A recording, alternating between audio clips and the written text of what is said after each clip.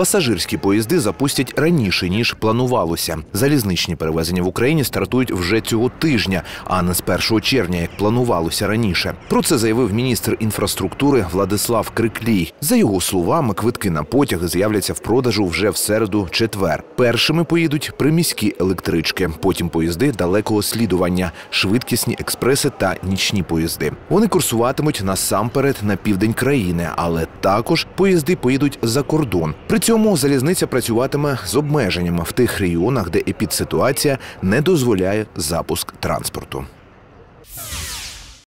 Робити висадку можна, а підбирати пасажирів. За логікою прийнятих рішень воно буде нераціональним і піддасть небезпеці інших пасажирів. Треба пам'ятати, що транспорт це не тільки підвищення мобільності, а й поширення хвороби.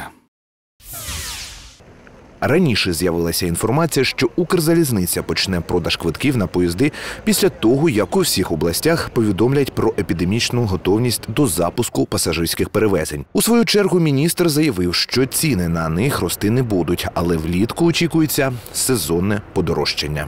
Крім того, Владислав Криклій повідомив, що запуск внутрішніх авіаперельотів теж планується перенести. Повітряне сполучення між містами, де немає загрозливої ситуації з захворюванням на коронавірус, планують відкрити раніше ніж анонсували, тобто ще до 15 червня.